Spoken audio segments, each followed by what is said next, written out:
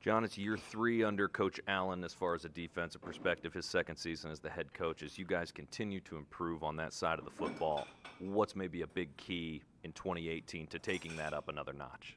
Uh, I think it's our mindset, uh, just being able to finish out games, uh, pretty much just toughening up and finishing out strong and making the plays that we need to play.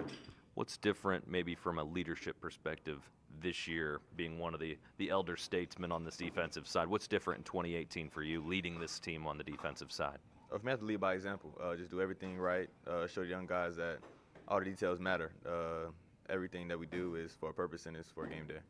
Defensive back wise seems to be one of the bigger strengths, experience wise, on that defensive side of the ball. Just talk about the guys in your room and, and how you expect that to be a strength on your team. Uh, the back end is supposed to make plays. I feel like right now we have a lot of speed, a lot of youth. Uh, they're ready to go, and it's going to be a big year for us.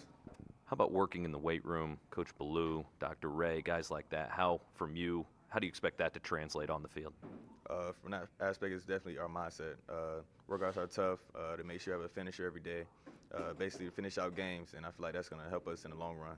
You're representing Indiana University and Indiana football here at Big Ten Football Media. To just take us through uh, what this has been like. Obviously, you still have a, a, decent amount of ways left to go here today, doing interviews and, and photo shoots, but representing your university and your Indiana football program.